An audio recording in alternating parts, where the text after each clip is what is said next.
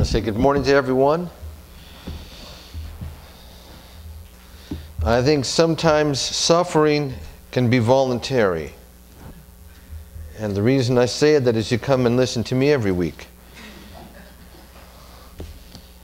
Uh, we're going to take a look at uh, the Lord's Supper. We're going to focus on a call to suffering. And that's Lord's Supper is less than two weeks away.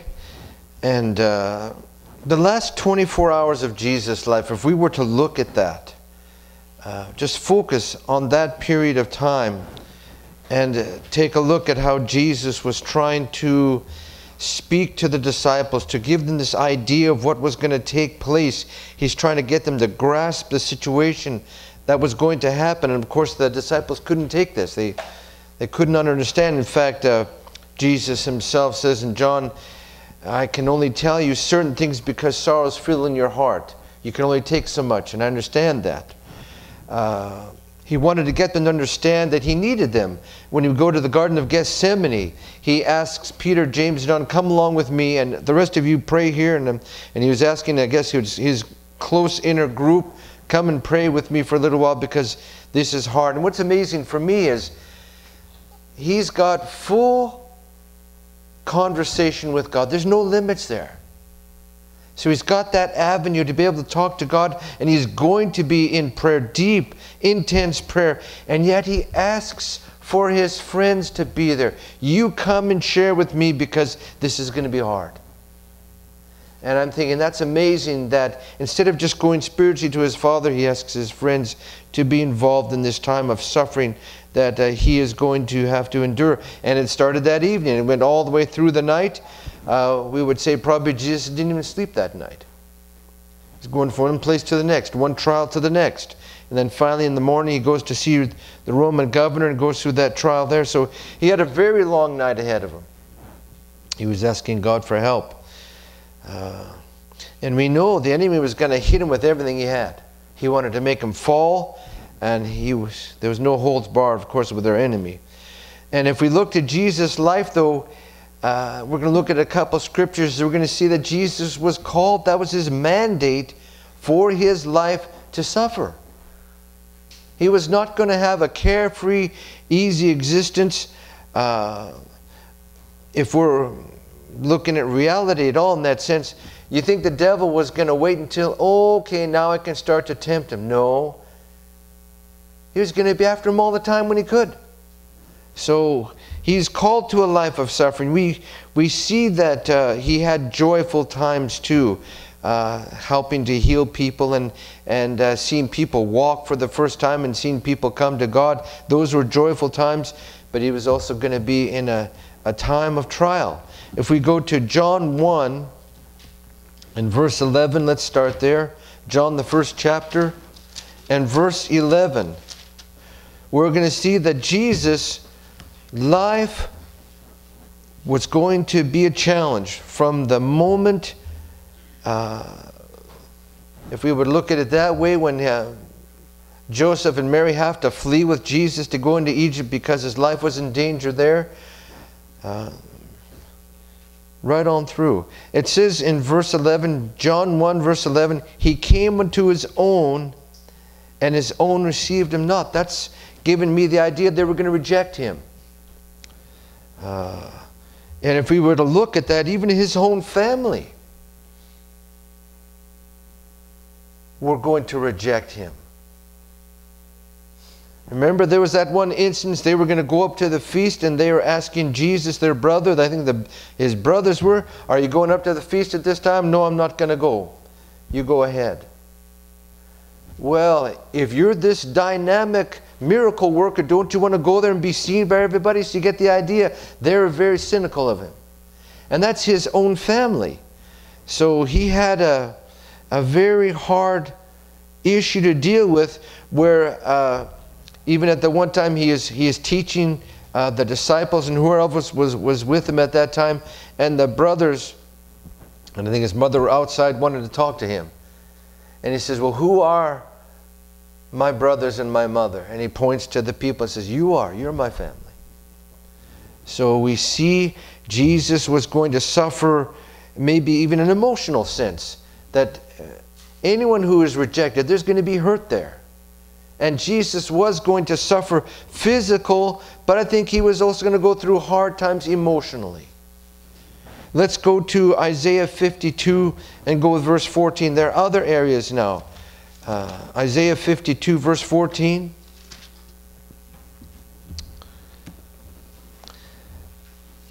He's preparing these last 24 hours for uh, uh, enormous, enormous physical torture, enormous physical beatings.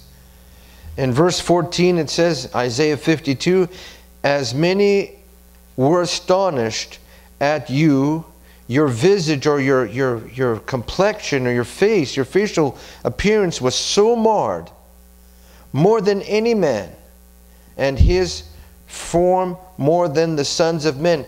He was going to go through, uh, well, in Canada we'd say you're going to be beat to a pulp. And I'm sure that's kind of the idea. The devil wasn't going to let him get away scot free. He was going to take this last chance. He was going to give him everything he had. let's go over to the next chapter, Isaiah 53, verses 5 to 8. Isaiah 53, verses 5 to 8. A lot of us recognize this time uh, of year. We kind of turn to these scriptures. But he was wounded for our, and you know what wounded also means? Tormented. For our transgressions, he was bruised for our iniquities. Nothing he'd done but for our sake. The chastisement of our peace was upon him, and with his stripes we are healed. And that reminds me right away, we think of the Passion. Uh, you know, I think for the most part, Christianity did not understand the, the extent of the beatings he was going to go through. All we like sheep have gone astray, we've turned everyone to his own way, and the Lord, or the Heavenly Father hath laid on him, that's Jesus, the iniquity of us all. He was oppressed. Didn't he have people, almost daily, people come and say, Well, you're, you're a devil. Because no one can do these works except you're, you're of the devil. You got the power of the devil. Accuse him of being a deceiver.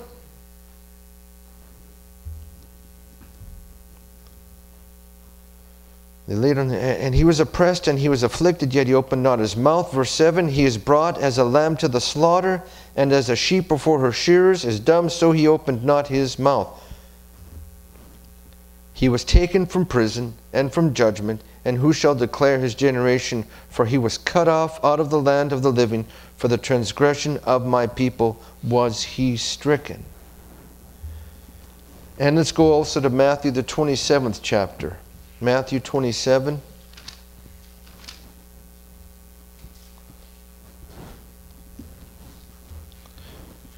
Verses 27 to 31. Matthew 27, 27 to 31. Now, here it's not only his people and the Pharisees and the Sadducees, the Sanhedrin, that are coming and uh, wanting to beat him but we also have other people involved in well. Then the soldiers, these are the Roman soldiers of the governor.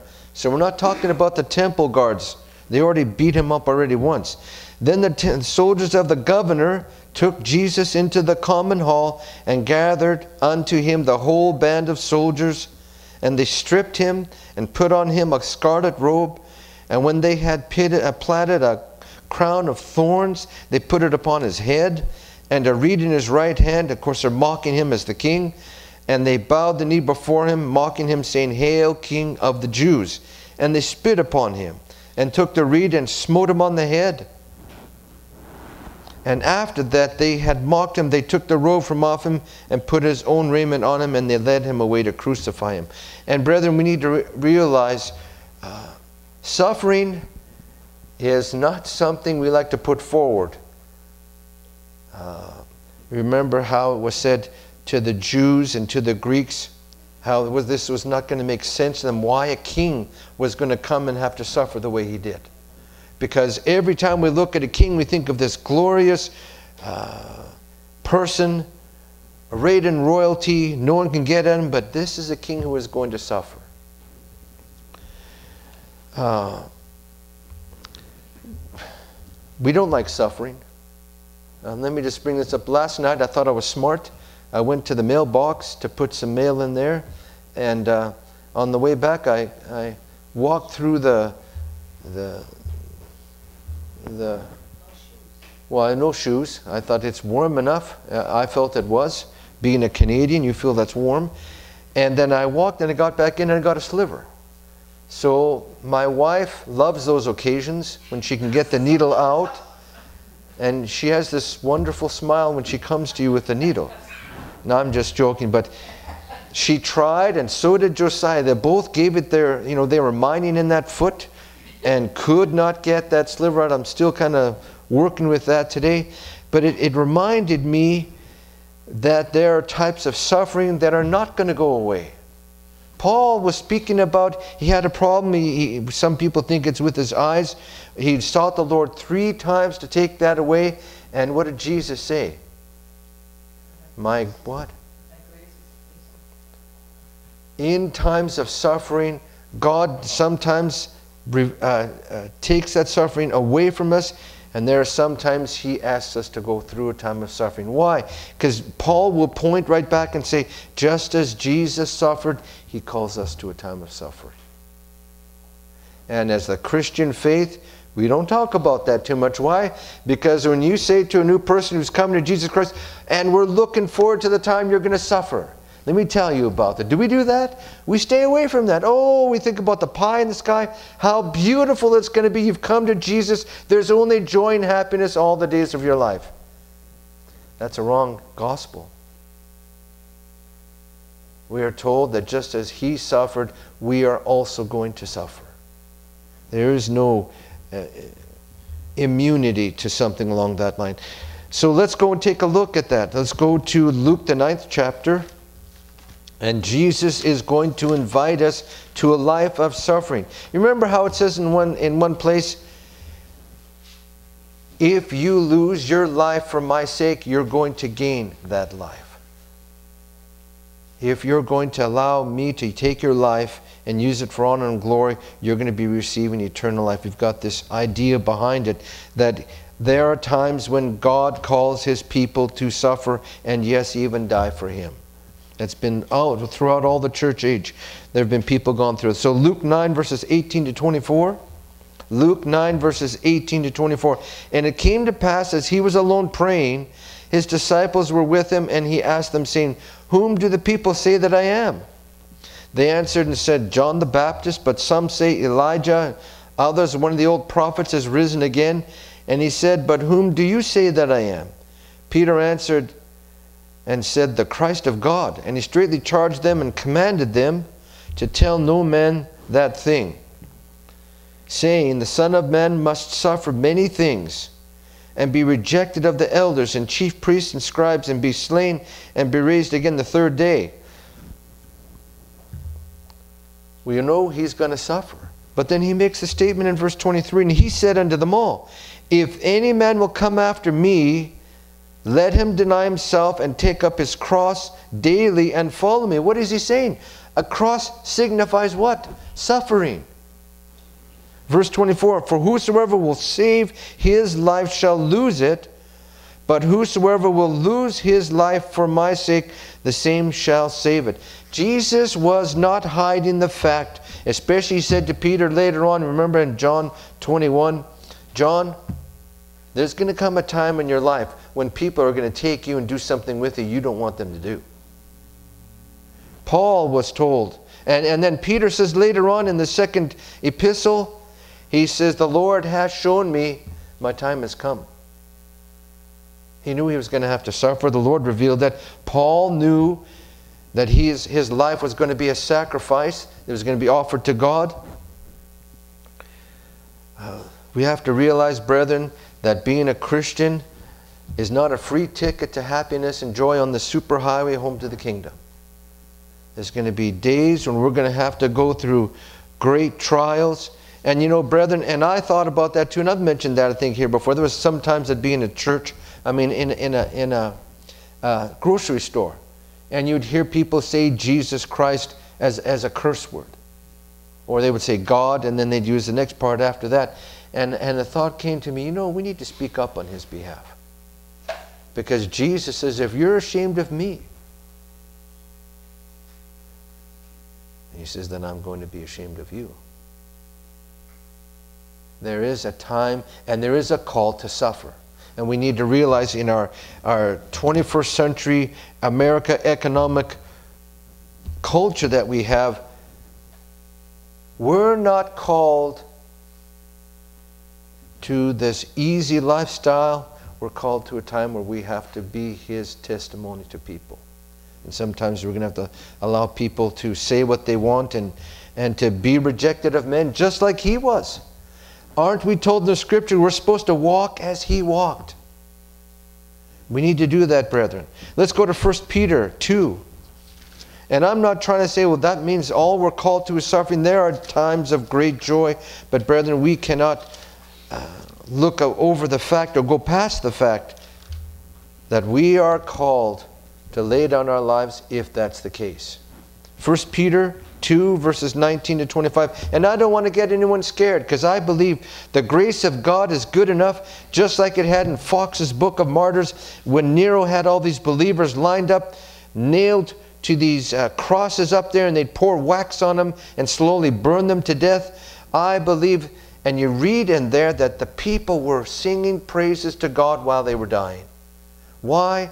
Because the grace of God is greater than any trial we're going to go through. If we feel like we're going through it alone, we're listening to the wrong person. The enemy wants us to feel you're going to be alone, you're going to hurt, and it's going to hurt forever. I don't believe that because Jesus said to his disciples, I am not alone, for my Father is with me. Who gave Jesus the strength to go through that? Well, we'd say himself, but you know, I think the Father was there with him suffering with him as he did. 1 Peter 2 19 to 25. And brethren, that's what gives me that hope. The Father is not going to leave us to the devil's own uh, evil ways. He's going to help us, He's going to be with us and deliver us. 1 Peter 2 19 to 25. For this is a thankworthy thing. If any man for conscience toward God endure grief, suffering wrongfully, for what glory is it if, when we are buffeted, or you're buffeted, for your faults, you take it patiently? But if, when you do well and suffer for it, you take it patiently, this is acceptable with God. We don't like that part. We like the other part idea. Yeah, if I did something wrong and I'm going to receive a spanking like when I was young, whatever, you, you, you can get a tongue lashing just as good. But he says, for doing well well, this is different. For even hereunto were you called. We're called to what? What does he say? Suffering. Because Christ also suffered for us, leaving us an example that you should follow his steps. We're going to have to suffer. You know, uh, we get this idea well, if a man is truly a godly man and walking with God and he's righteous in all his ways, he ought not get sick. The Bible doesn't tell us that. Because I look at Elisha in the Old Testament who died from a sickness. And yet God is still working through his life. So when you look at people nowadays, people get cancer, something, say, well, maybe he wasn't walking as close to God as we thought. He got sick. Do you think that the devil wants to get us sick? Sure, he does. He wants to make us suffer as much as he could. For what glory is it if, when you're buffeted, you're buffeted for your own mistakes? We go to verse 21 now. For even hereunto were you called, because Christ also suffered. So we've got that idea. Now, verse 22 Who did no sin, neither was God found in his mouth, who, when he was reviled, reviled not again. When he suffered, he threatened not, but committed himself to him that judges righteously. Would we have done like Jesus had done? When these guys had come and started hitting me, he could have said with a word and they were done. You remember? Who are you seeking? Jesus of Nazareth. I am He. What happened immediately? In the Greek, we understand they forcefully fell to the ground because Jesus says, I have the power to stop this if I want to. And He could have. But the Son of God allowed them to hurt Him. How many of us, if we have a son or a grandchild, and someone's going to take them up and beat them up, would we watch and say, well, we would be in there stomping on that person as quick as we could? And yet here is God looking at his son, going to go through all that. How could God stand by and watch that to happen? And yet it was God's perfect plan that Jesus should pay the sin of the world, and what a price it was. We could never have paid that price. That just touches my heart that He loved us so. That for every whip He was going to take on His back, He was thinking of you and I. And when they finally nailed Him to the cross, He was thinking of us. I'm doing this for you. And I remember when I was in Dover, Oklahoma, and there was one minister who got on a bunch of us young kids because we were fooling around the back, and I fell under condemnation. And then God started working in my life while He was preaching. And then I went up, and what broke my heart that day was I could see in my mind's eye them hammering the nail into his, his hand. And he was looking at me while they were doing that. And that broke my heart to realize he paid a price for me. He was looking at me when they were doing this, wanting to suffer for me, to take my penalty, to take my sin, so that I could receive his righteousness. What an awesome God we do have. And who sent his son, he asked his son. Do you realize there's another place in the scripture where Jesus says, God has given me the choice that if I don't want to do this, I don't have to do this. He didn't have to. I mean, he did it because of his love for us. Verse 25. For we were all the sheep going astray, but are now returned unto the, ship, the shepherd and bishop of our souls. Why are we like that? Because he opened that way. He took what was mine and he gave me what was his. And that is an awesome thought, brethren. Sometimes we forget. Sometimes we forget the price that He paid for us. And that's why I like the Lord's Supper, because we need to be reminded of what He did for us on the cross, in and before the cross. So I'm going to point, take three points. Uh, I'm sorry, I didn't do the first three points. Uh, was John 11, that was number one, but uh, the first point was that he was going to be rejected. The second point, he was going to suffer. And the third point, which we just went through, he invites us to suffer with him. So the first point, he was going to be rejected. And then point number two, is going to suffer. And then number three, he calls us to walk with him. So now the final three points, I'm going to give you these here. And they are number one, God breaks us. But I thought you were talking about a God who loves me and he cares for me. God breaks us. He takes, so I'd like you to go to 2 Corinthians 1. We're going to read three verses out of there. 2 Corinthians 1.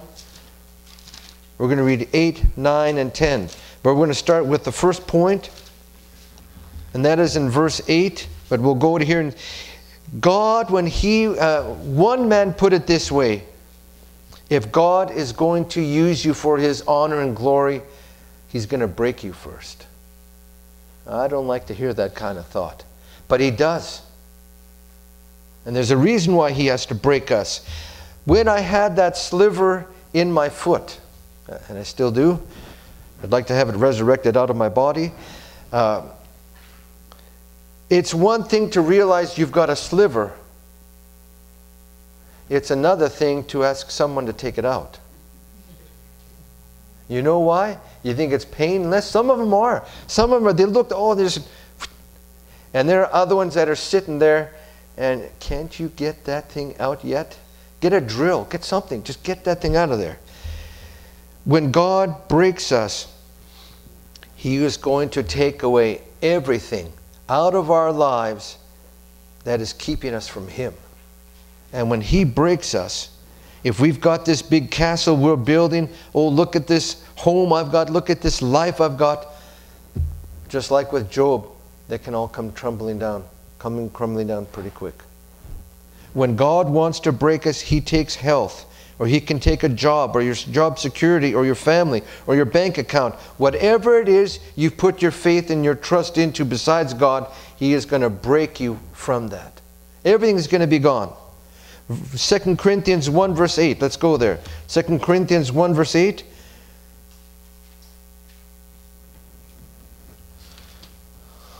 Just give me a moment. For we would not, brethren, have you ignorant of our trouble which came to us in Asia, that we were pressed out of measure above strength, insomuch that we despaired even of our life. When God starts to work on you, He's going to give you your own Gethsemane like Jesus had. Gethsemane means pressing down, squeezing out. When, uh, when you had uh, your olives and you were working your olives to get the oil out, used a very heavy stone, a big round stone, and you had this little track that the stone would go in, and you had a donkey that would pull that stone around, and it would crush all of the olives to get the oil out. And it would take a while, and you can, when you, if you see that, you hear this crackling take place of all of the olives as it's squeezing out. And brethren, in our lives, when God wants us to suffer, and there's a reason why He calls us to suffer. He will take out of our hearts and our lives everything that He sees that keeps us from Him. You know how I know that? What happened with Abraham and Isaac? Abraham was looking at Isaac at this wonderful son, and God says, if I can paraphrase, I want you to give your son to me. I want you to offer him up for a burnt offering. What was God asking Abraham to do. There's something in your life. I want it out of there because that's my place and that's your son.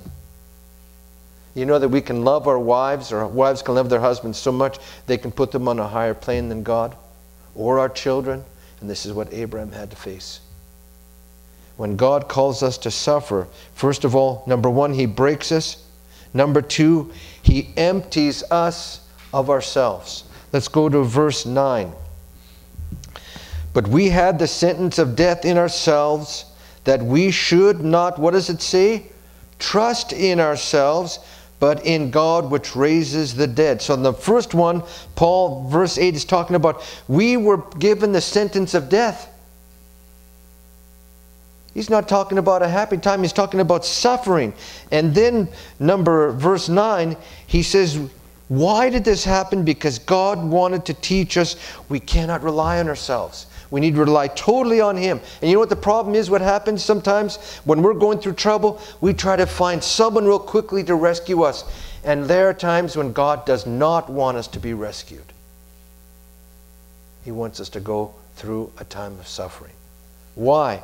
If you take uh, silver, uh, at least in the old uh, Roman times, how they made silver to be perfect is you had this man who had for this container, and he would heat the silver up. And after it got to a certain degree, the infirmities or the bad things that were in the silver came up to the top and they would skim it off. And then they would cool it off and then they'd heat it up about seven times until the silver you got was perfect silver. Sometimes God calls us to suffering, those heated times, to get those things to come to the surface that God can take out of our lives. Now, why did Jesus have to suffer? He had no sin. We read in another scripture that God called Jesus to suffering for the perfection of his life. And yet he was already perfect. See, he empties. In this step, we can see those things that God is saying, this cannot be in your life anymore. We've got to take it away. And when we get to that point in our heart and our life, we're going to do one or two things. We either reject God or we give up what He wants. Nowhere to run, nowhere to hide, nowhere but God. That's what happens in this instance. You, you can't, uh, and you and I have gone through different troubles in our lives, mine different from yours, of course, but there are times you are looking and wanting someone to give you that physical uh, help and compassion. Job couldn't get that in his friends or in his wife. And I think it's because God wanted Job to be at a certain place where it was just Job and God alone, and we find that in verse at chapter 42. Chapter 41 and all that area where God speaks to Job and Job realizes he wanted to be close to God, but he had to go through a lot of suffering first to get to that, that impact that he was looking for. And then point number three. Let's go to first, uh, Second Corinthians. Let's go to verse 10.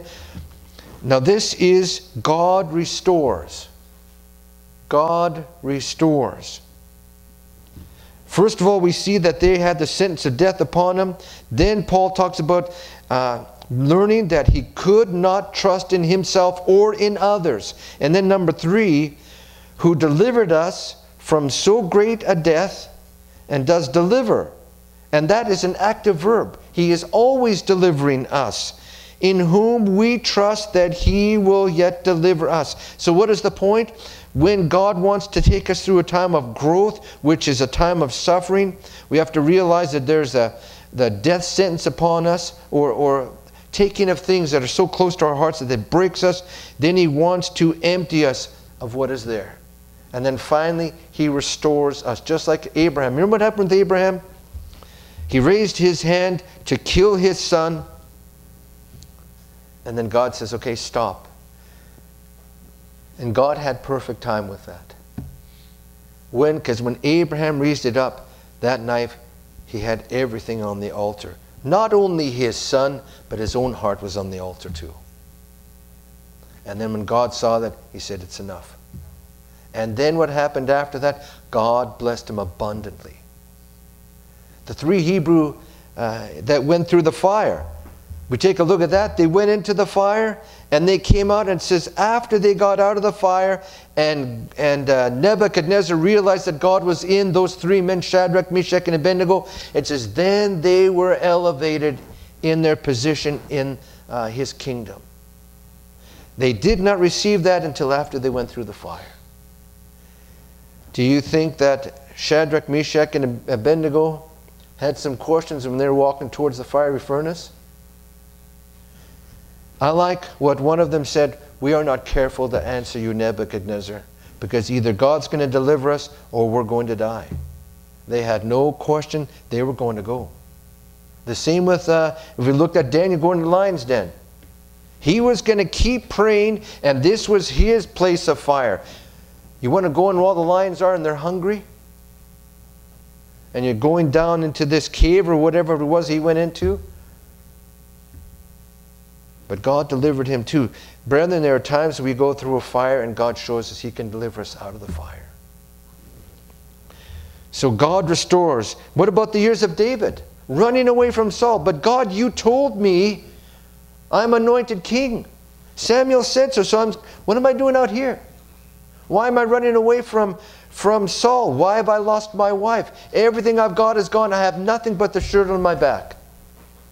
And yet God was teaching David through all those times what kind of a king he was going to need to be. Trusting in God totally.